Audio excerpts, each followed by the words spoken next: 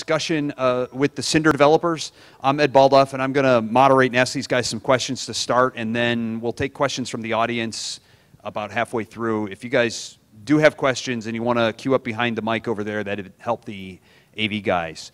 So first off, um, we're going to go through and just have everybody in the panel introduce themselves. I'd like all you guys to uh, tell us your name, what company you're with, um, uh, what you do in Cinder, you know, kind of what your specialty is, where, what your background is, where you reside, and any other quick facts, but make it fairly expeditious.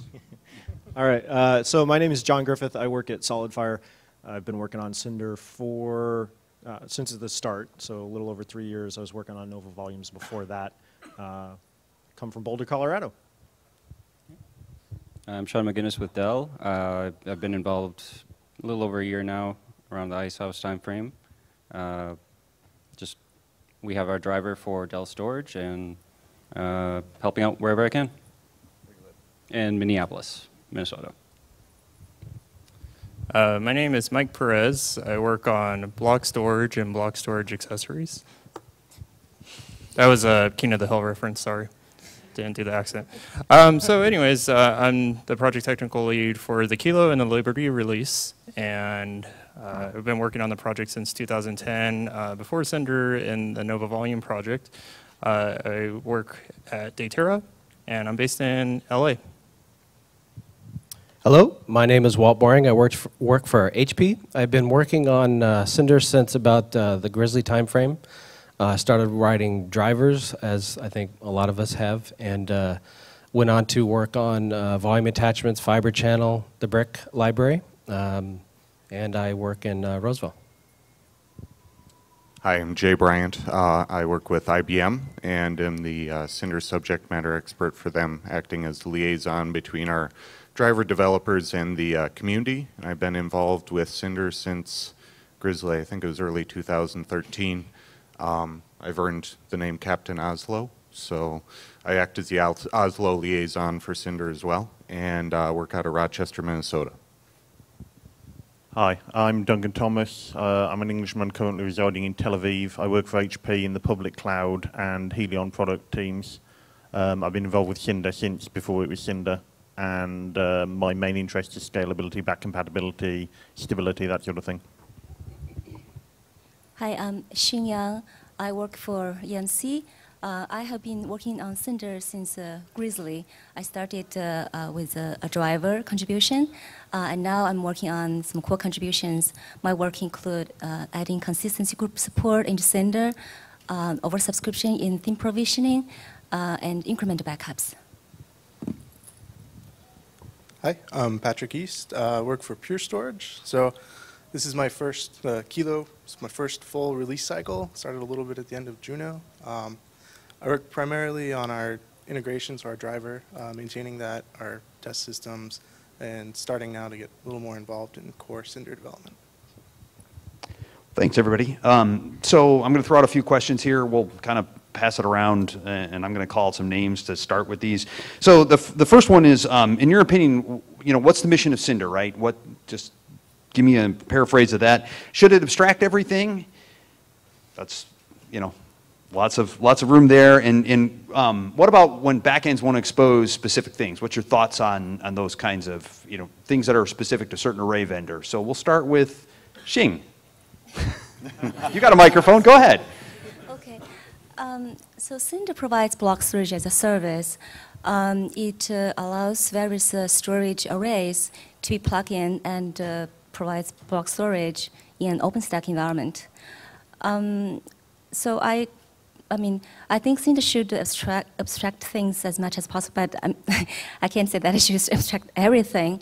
Uh, so if there are something that you think are like vendor specific, I think we have to look at what that is, right? What feature that is. If it's a um, well-known feature that uh, has been um, used for a long time and is very important, well, adds lots of value to Cinder, then I do think it should be um, abstracted by Cinder, even though it may not be supported by every driver. It could be an, like an advanced feature. Okay. Uh, Mike. Yeah. Um, so regardless of the location or whatever the physical devices are, um, I think what we're trying to provide is sort of uh, this pool of storage that can be consumed by in a multi-tenant environment. Um, that's just in general how I feel about the project. Uh, you know, I don't necessarily care if it's over, you know, a particular protocol like Fiber Channel or iSCSI or any of that stuff. Um, just as long as you can give me a block storage in the end, um, it's cool. Um, other than that, uh, in terms of exposing uh, certain features from vendors, I think it's just kind of important um, thing that we need to, I mean, while we want to keep like a level playing field and everything for people, um, certain features aren't completely possible um, by our reference implementation to actually be able to expose it, have proper testing and so on. Um, and we've, we've seen in the past that kind of doesn't really work too well with certain features like replication. Thanks. Jay? You got a microphone, so. I got, I got a microphone. Um, so, you know, I, I, I want to kind of expand a little bit on what, what Mike said. You know, I think uh, the goal of, of Cinder is to provide storage to people and they don't have to worry about where it came from. You know, and that's kind of what I've been, uh, people have been asking me more and more internally, you know, okay, what, what do I, what about what's happening on the back end? It's like, well, if you set it up, go ask for storage. You should just get your storage and be able to use it, not have to worry about the details. So the more we can do to enable Cinder to get our users that experience, I think the better. Um, and being able to quickly debug any issues that come up with that. So those are kind of the areas I focus on. Vendor-specific items. Um, you know, uh, this is something we've been talking about a lot lately, um, and I think uh, I think it's important that we provide a guide as to through you know the required functionality for each each release that we have. What's a, a driver required to implement? I think it's important that we keep that updated and make it a, an attainable goal for all backends. Um, I think that's the first place in the discussion. We've got work to do going forward, figuring out how we take the more um, advanced features and make it work for everybody. I, I totally agree that, you know, in the case of replication, our first time around, we didn't quite hit the mark and we've got more work to do there. Um, but we're looking at how to fix that and, and moving forward actively in that area. So, uh, whoa. so, so in, in terms of my viewpoint on that, I, I'm kind of the odd person out, I think. Um, my opinion is that uh, vendor unique features should not be exposed in the Cinder APIs. Um, there are methods inside of Cinder that will allow you to expose those and utilize those, whether it be extra specs or something new that we could create and stuff like that. But the whole idea, you know, if you saw the keynote today in particular, um, when you look at things like federated cloud, the whole idea is, is you want to make sure that no matter what cloud you have, you have the same capabilities, the same APIs, your applications will work no matter what OpenStack powered cloud it is. If you start bending the rules and saying that, oh, well, this vendor feature we're going to go ahead and let in and this one we're not, what's going to happen is, is you no longer have compatibility and it breaks the whole model, which Thanks, John. All right, uh, everybody pass the microphone to the right, or to, to your, to your left, my right, sorry. Um, so the next question, Cinder now has over 40 plus drivers, right? So we all have seen this happen. Um, should they all be upstream? Where, if not, where should they live? Uh, how do we prove testing, right? So today we've got all this continuous integration stuff that we've set up, and if we take them out of upstream, how do we prove that? And is that a, a, a something that should be done by the Cinder community? And we'll start again with everybody that's got a microphone from Patrick. Okay.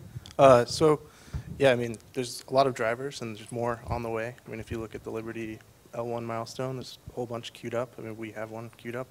Um, and, I mean, even just from last re- release cycle with our driver, there's a lot of churn and little bug fixes here or there that we had to put in. And it takes core reviewer time for, you know, a log message in our driver that, you know, nobody else cares about, right?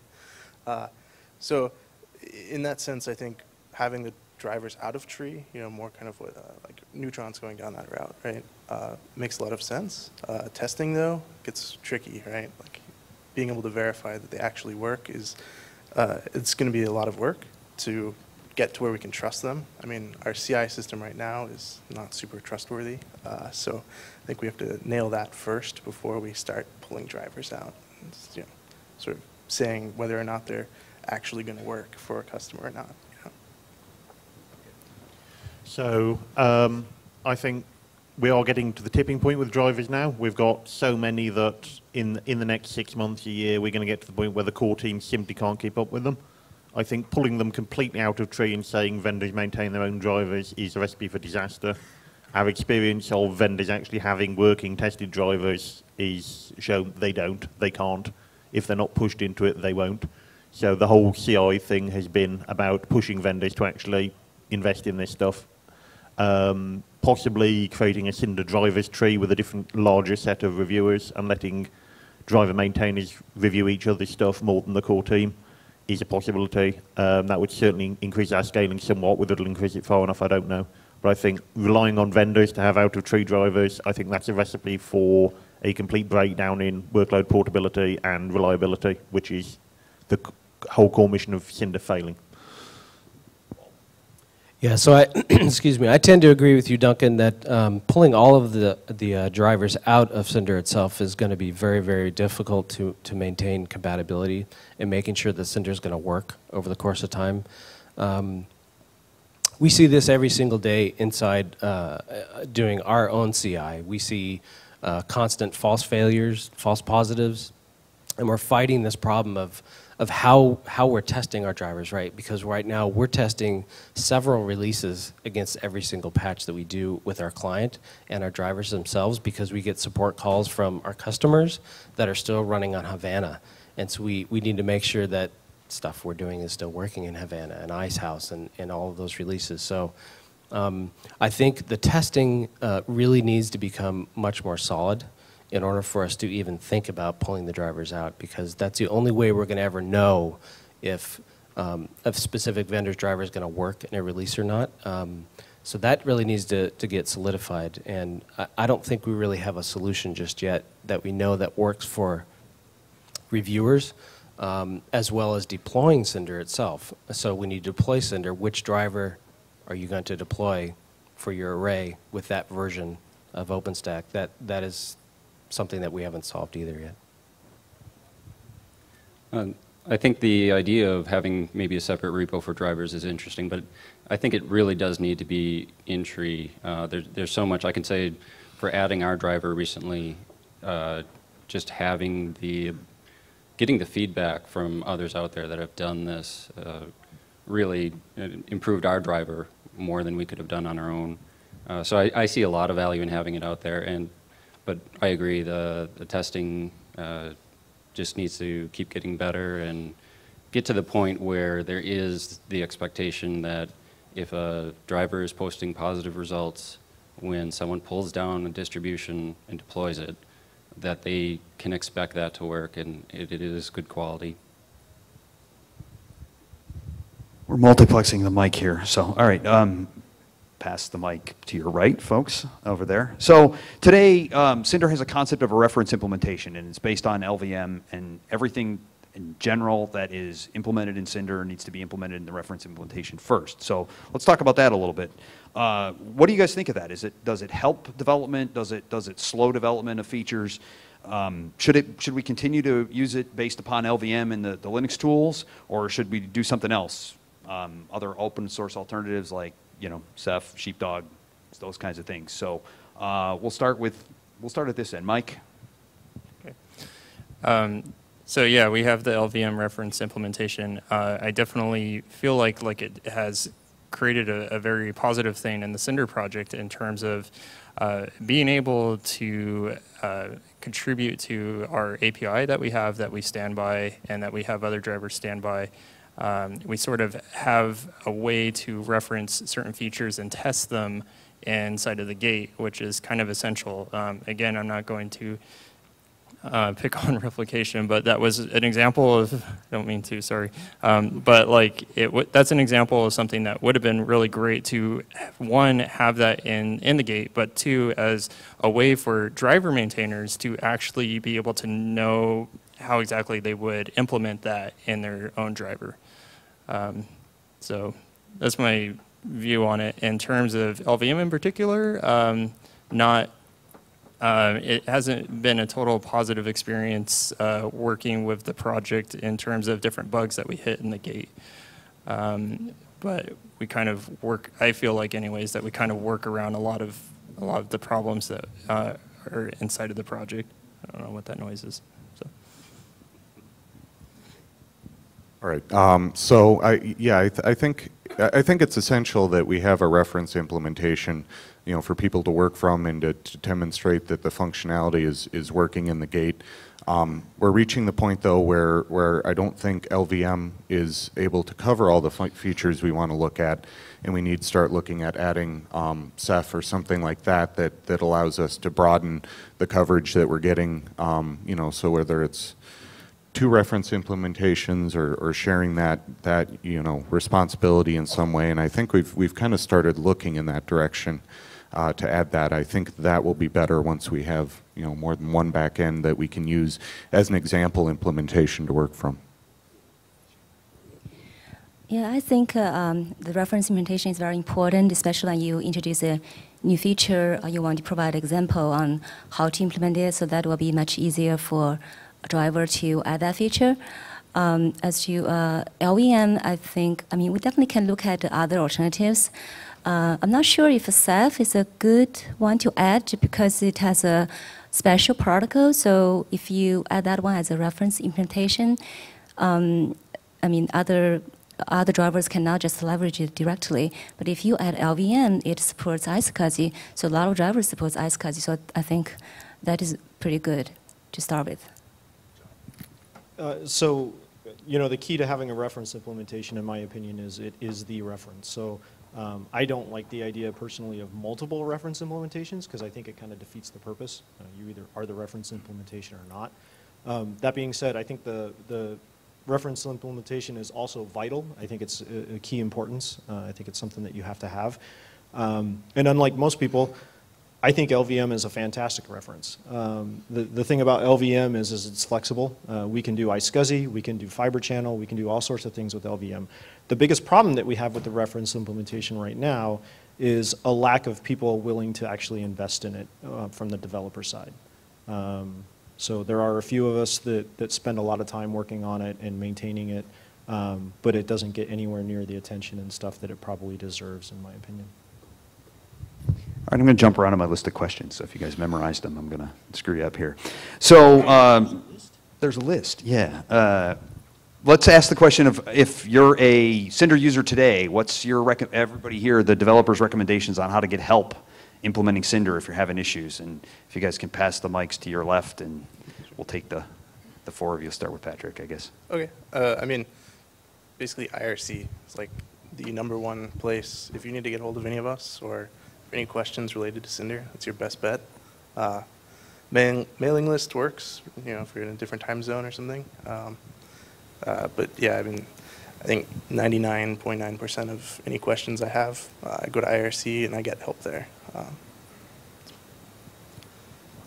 Yeah, I think you hear the same answer over and over. IRC is the way forward. Just remember that there's a lot of time zone variance and a lot of amount of attention people paying variance. So don't join IRC, post your question, not get an answer in five minutes, quit and disappear because we can't answer that. Join IRC, post your question and wait. Most people are logging the session and will you might get an answer two hours later when people wake up and come online or stop concentrating on what they're doing, but IRC is the place to be. Yeah, I have to agree. Um, we were just having a discussion about this with some of the developers that are working on Fiber Channel. Um, and so the, the answer is the same for developers as it is for end users, right? Is, is that IRC is the active place every single day where all of us are hanging out in, and um, we're more than willing to help um, with, with, with any problems that uh, folks are having with Cinder, with development, and then also with deployment as well. Um, but the mailing list shouldn't be overlooked quite as much, though, because a lot of us, like you guys said, have uh, time zone issues, and we're not always available on 3 o'clock in the morning to answer questions. Some of us are, but most of us aren't. And I have to agree, uh, you know, there's ask.openstack, there's the mailing list. So there are other resources out there, but probably the best place to get help is on IRC. And, you know, like Duncan said, don't, don't ask a question, wait two minutes and drop off. Uh, Really stick around. You, you, can learn a lot just by being in the IRC channel. All right, multiplexing the mic again. So uh, based on that, let's move on to uh, what does it take to be a successful contributor to Cinder? So if, if somebody out here in the audience wanted to actually contribute something, what's it take? And pass the mics to your right. And I'll let John start this time. Oh, Um, so, so that's a good question, and it comes up a lot. And in my opinion, the, the biggest thing that makes you a successful contributor is that you're not just contributing a driver. Um, that's a great starting point. It's an important starting point. The great thing about Cinder is the fact that we do have so many people interested in it and contributing drivers. Uh, but if that's all you're contributing, then the model is broken, right? Because the whole idea is that is supposed to be the onboarding ramp. It's supposed to be the gateway to get people in, get people involved, and help make the project overall better. Um, and that's that's what we're looking for. So that's what makes a, a better contributor is the person that actually looks at the whole uh, Cinder ecosystem. Um, and then the other thing that's really important is, is actually understanding OpenStack. Uh, it's amazing how many people contribute code to projects in OpenStack and don't even know how to run OpenStack. Uh, they can't deploy it. They can't even deploy it with DevStack. Um, and then even if you help them deploy it with DevStack, they can't run it and utilize it. Um, you have no business contributing the code at that point, in my opinion, if you don't know how to actually use what you're trying to build. Uh, so there's just some things to keep in mind, Dang, you, huh? Oh, yeah. Yeah, you stole my answer on the deploying part. Yeah, we have a lot of people who, um, I don't want to say a lot of people, but we have, we have times for the people that bring in drivers and then it comes to actually like, oh, I need to set up a, a CI for this driver and I don't know how to actually deploy OpenStack. Kind of amazing. Um, but uh, I would say in general, though, uh, if you're looking to get involved with anything with OpenStack, and, and for myself, I just wanted to be part of the project, um, and and this project in general for Cinder, and it's something that we've been focusing on, and I've also been mentioning in posts uh, that I want to make this project a very welcoming and like starting gate point for people if they want to be um, getting involved. Maybe you don't do storage, but you want to have a positive experience in contributing code and feeling like you're part of the project, um, I absolutely welcome you to be and join us. Uh, we're really friendly people. So, Jay? So, um, yeah, I, uh, uh, I use the, I get this question all the time, you know, kind of the example I give is, you know, two and a half years ago, I didn't know anything about OpenStack and I knew not a lot about storage. Um, so I'll, I'll count myself as a success story with Mike and John here and the rest of the group who've brought me up and, and helped me uh, learn about OpenStack and doing code reviews, and that that's the way to get involved. Come sit in on the, the weekly meeting if you can, or look back at the logs so you know what's going on. Um, you know, don't be afraid to open open bugs so that we know what's going on. And if you can dig in and even try to provide a solution, that's awesome. But we know that that's not always a possibility. Um, and in other words, code reviews. I did tons of code reviews just to get what experience I have thus far, and that really gets our attention when you're helping out and giving your input. Um, and then we can latch onto that and use that as an opportunity to continue to help you learn more about participating with Cinder. So. Xing? So I will just reiterate what others have already said. Um, so you got to participate. Um, you get on IRC. You can talk to people. Uh, uh, participate in the weekly meetings um, and help with the reviews. Also uh, respond to uh, review comments in a timely fashion. So all of that. Um, okay, cool, thanks. Uh, let's see, any, anybody in the audience got any questions? If you do, raise your hand or, okay, all right, so I'll keep asking questions. Got one over here, all right. Yeah, uh, you guys talk about the problem of the migration. Can you talk about the more, a bit, a little bit more about the migration? Perfect lead into what I was going to ask. So I'll repeat the question. Uh, he wants, he uh, mentioned that we mentioned some stuff about uh, migration, uh, replication problems, and so uh, can you guys expand upon that? And who, who wants to expand upon that? I, I should maybe start. Okay. Um, so I, I inherited some code uh, when, when I came up in the Cinder community that, that had been written. And um, we've needed to, to improve it, so we're, we're working on that. Um, I, one of the big problems with migration uh, we're finding is just a misunderstanding of how it actually functions. Um, you know, there's, there's migration and there's retype.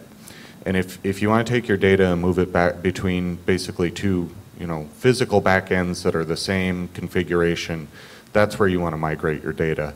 Um, But if it's two different backends, it's going to fail because it, it doesn't find a host of the same type. You need to actually retype your volume to get it to move. And so, um, you know, there have been a number, of, there are a number of bugs out there now that we've commented and tried to explain that better. Um, need to get a documentation update out there to help better explain that. But I think, I think a number of the problems around migration and retype are, are in a misunderstanding of how to actually use that. So that, that would be my Okay. initial thought. Just FYI, um, so migration and replication are basically broken with the exception of one driver. I mean, that's, that's the reality. They, they don't work and they don't work properly. Um, I don't agree that it's a documentation issue at all. Um, You can try it in, for yourself, you know, use LVM and, and see if you can get it to work, but um, there are problems with it. We are in the process, as Jay said, of fixing it. But right now, it's, it- it's features that First of all, it's only implemented in a couple of the drivers, which creates a problem. Uh, Replication in particular is only implemented in two of the drivers, and even there, it's unknown exactly how well it works. There's some problems with it. So, not to cut it. You guys can have a- a Yeah. rumble afterwards. I All just right, wanna make who sure else? it's clear, 'cause- Who else wants to comment? Duncan, go ahead. Um, so I think migration, ignoring replication, because I think replication was just something we attempted, it didn't work. I, I, I treat that as something different. It was an experiment. We're going to do it better. And I don't think we could have done better than trying it and actually finding out. 'cause we discussed it so many times, the discussions were going around in circles. So in the end, somebody had to step up to the plate and write it. And um, it kind of sucks that we're going to throw a lot of their work out the window. But um, on the other hand, there's a lot of lessons learned, and that they'll end up with a good product as well as us. But as far as migration is concerned and retype, I think Cinder really needs multi-node testing, multi-node CI, and Tempest scenarios or whatever is coming after Tempest to actually exercise this. Because the thing we find again and again and again in Cinder is that if it isn't tested and tested all of the time, it doesn't work. Um, so we need multi-node testing. We need lots of people doing multi-node testing. Um, the fact that multi-node testing is hard, I think, tells you a lot about the state of OpenStack as a mature product. The fact that setting up a multi-node automated test is hard tells you there's something wrong with, subtly wrong with OpenStack. Just like setting up CI was hard in Cinder, and that told you a little bit about the state of Cinder. I think we need to grow up and fix our basic low-level problems across all of OpenStack, not just Cinder, and get things like multi-node testing to the point where any, anybody can do it. It should be easy, it isn't. Thanks. Anybody else? You see multi-node, by the way. Yeah, mul- multi-node, so yes. Um, Any other questions from the audience? Yeah, we got one over, let's take this one first. Hi, my name is Setu Madhavan. I'm, I'm colleague of uh, Xing Yang in EMC. So, couple of uh, points with respect to local replication and uh, remote replication. Hello? Yeah, uh, when we take local replication, there is a functionality today to take local copies, snaps, or any, anything like that. Now, what happens suppose the source version get corrupted? Is there functionality we are proposing to restore it back from the um, target which we, uh, sorry, the target what we generated to the source, number one. Then I'll ask the uh, remote replication later. Anybody want to take that? Duncan? Or- You can go first. So, so right now, that's part of the problem, right? Is right now, um, that's something that isn't really well thought out, and it's, and it's somewhat, like I said, it's, it's basically broken. Um, The idea is, we have a number of things that we're trying to work on right now, uh, in terms of rewriting that and designing it and, and figuring out how to, how to achieve it going forward. Um, I think what we'll probably do is, hopefully, um, this time try and do a more iterative approach on it, um, and start the failover piece, maybe do the failover uh, to switch back to the secondary, have that be a separate admin call that has to actually institute that, at least to start with, and then later down the road, have it possibly be automated, sense the failure, and pick it back up on its own. Um, There's a number of options. The biggest challenge that we have with things like replication, however, is when you try and have a common API to serve that, every backend, EMC, NetApp, SolidFire, HP, whatever it might be, IBM, they all behave very differently. Um, and even worse, they all tend to define replication differently. Um, so replication means different things to them. So until we can kind of all settle on what we want to define it as and how we want to solve it, we're, we're kind of kind of stuck at that point right now. Duncan? Yeah. So one of the things about I think about rep- replication in the cloud is you've got to think cloud. There's an awful lot of people who are trying to build VMware, turn OpenStack into VMware. It is different. So some of the replication story, people are like, oh well, I want my volume to be back, and it's like, no, you get a volume back. Your volume ID doesn't matter. You get a, reference to a chunk of data, you can attach it to a VM.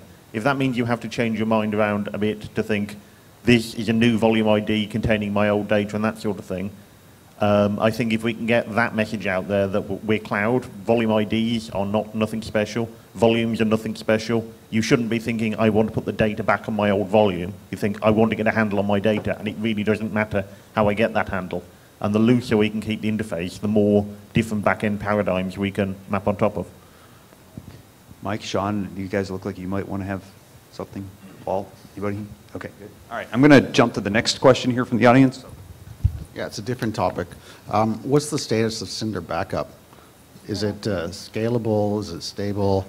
Can you, can you work between, can you back up between different backends? How's incremental working? Who wants to take that one? Patrick? Tony, I can start and then you can. okay. So I can start because I just uh, did some work on incremental backup.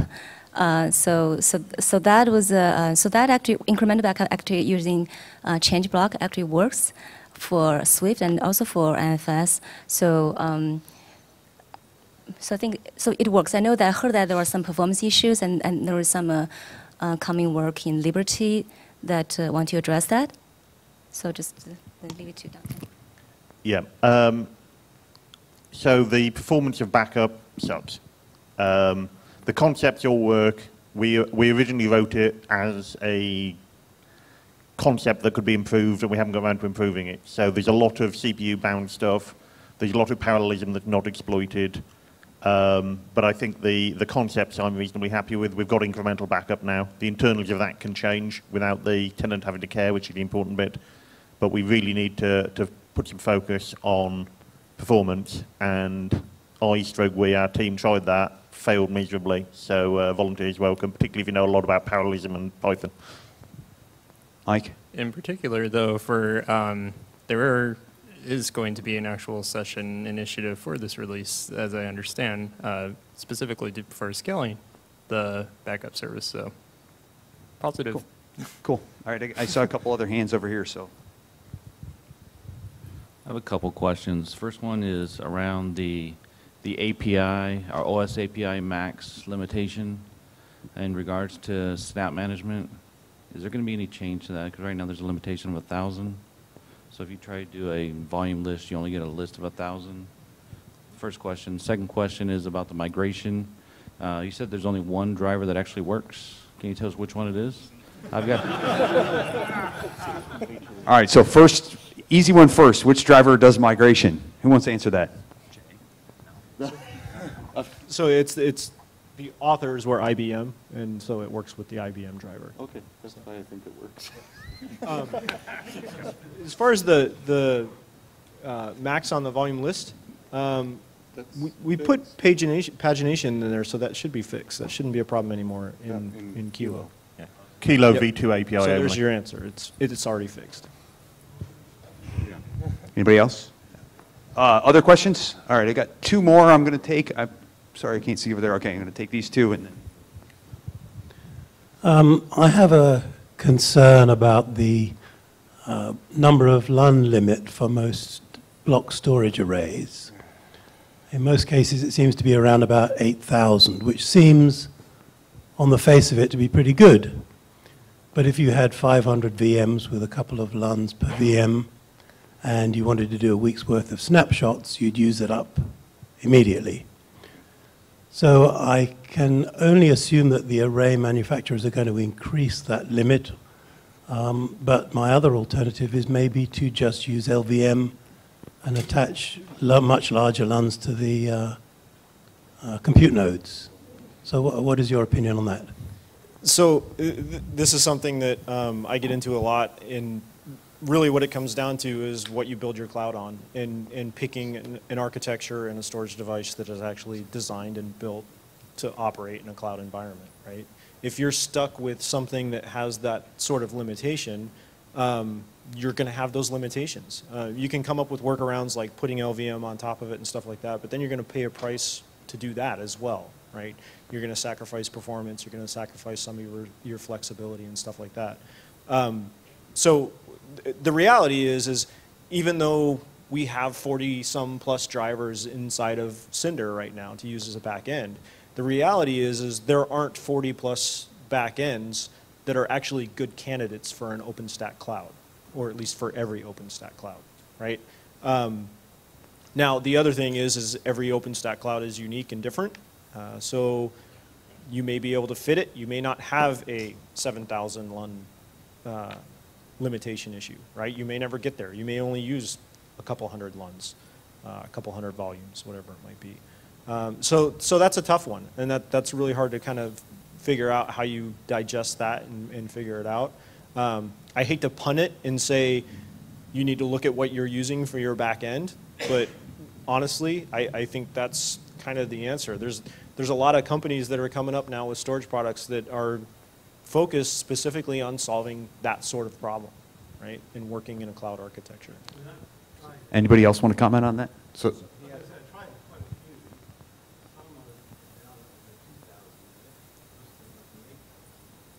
The, the comment was he's tried a few, and some are at 2,000 and some are at 8,000, so.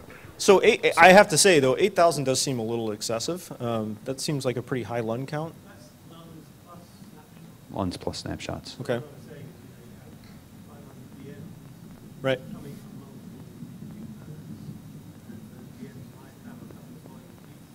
Sure.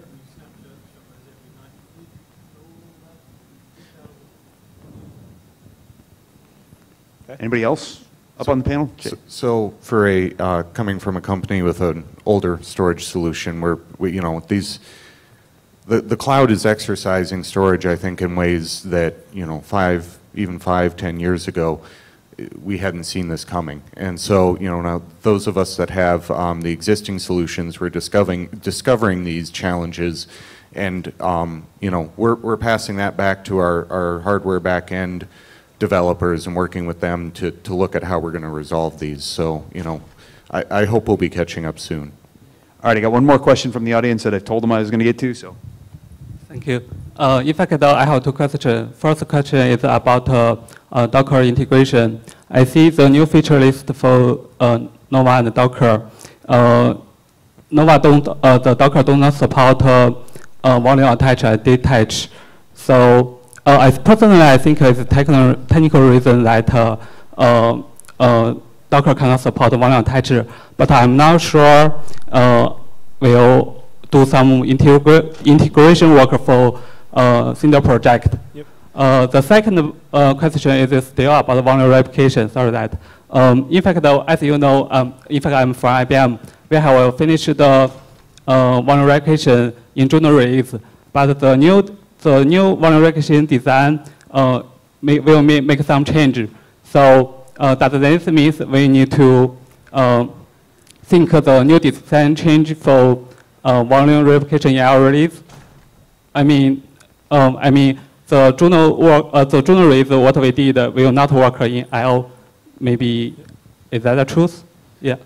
So I'll, I'll, I'll take the first question about Docker and I'll kind of repeat and summarize. So uh, the question was, is Docker integration, there's nothing for Cinder in terms of an integration right now. Um, the issue with Docker uh, basically is, is you can't do dynamic attaches of storage after a Docker instance has been spun up.